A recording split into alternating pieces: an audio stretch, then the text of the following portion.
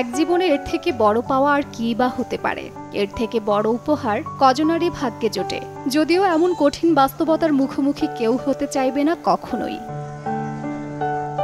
ঘটনাস্থল হজরত শাহজালাল আন্তর্জাতিক বিমানবন্দর। স্বজনকে বিদায় কিংবা আমন্ত্রণ জানাতে অস্ত্রসিক্ত নয়ন এখানকার স্বাভাবিক ঘটনা। তবে এই পরিবারটির গল্প একেবারেই আলাদা। আনন্দ অশ্রু বিসর্জন দেয়া এই মানুষগুলো ভাগ্যের নির্মম পরিহাসের শিকার, যার সঙ্গে জড়িয়ে আছে বাংলাদেশের স্বাধীনতা যুদ্ধ, শরণার্থী শিবির, আরও অনেক অনেক তিক্ততা। এক পর্যায়ে স্বামী সহ ছোট্ট দুই সন্তান, উম্মে সেলিনা ও উম্মে তাসলিমাকে হারিয়ে ফেলেন মা চমনারা বেগম। আশ্রয় নেন ভারতীয় শরণার্থী শিবিরে, সেখান থেকেই পাড়ি জমান নিজ দেশ পাকিস্তানে। অন্যদিকে বাবা এস এম মুসলিম মা হারা দুই মেয়েকে নিয়ে দিনাজপুরে শুরু করেন নতুন সংসার। বিয়ে হয় চমনারও। এরই মধ্যে কেটে যায় অর্ধশত বছর। এলো বেক্সিমকো বন্ড। পনেরো পার্সেন্ট মুনাফায় সর্বোচ্চ হারে সবার উপরে।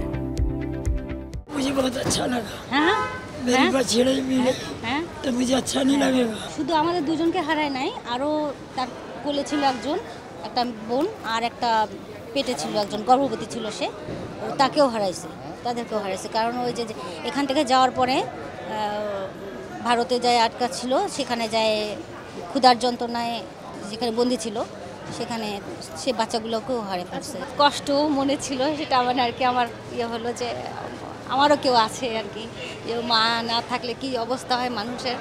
হ্যাঁ একটা মনের যে একটা কষ্ট কত রকমের দুঃখ প্রকাশ করা যায় না। দু সালে পারিবারিক এই ছবির সূত্র ধরে খোঁজ মিলে মা ও সন্তানদের। সামাজিক যোগাযোগ মাধ্যমে ছবিটি প্রকাশ করলে ছড়িয়ে পড়ে পাকিস্তানে। এগিয়ে আসেন মুরাদ নামের এক কন্টেন্ট ক্রিয়েটর অবশেষে দীর্ঘ তিপ্পান্ন বছর পর এই সুখের ক্ষণ। একটা ছবি ছিল এই ছবিটা নিয়ে আমি বিভিন্ন মাধ্যমে আমার বন্ধুবান্ধব বা যারা পরিচিত আছে, আমি খোঁজার চেষ্টা করি। একটা সময় আমার কাজিন অভির রহমান, ও আমাকে উৎসাহ দেয় যে তুমি এটাকে বিভিন্ন পাকিস্তানের পেজে তুমি এটা পোস্ট করো, বাংলাদেশের পেজে পোস্ট করো।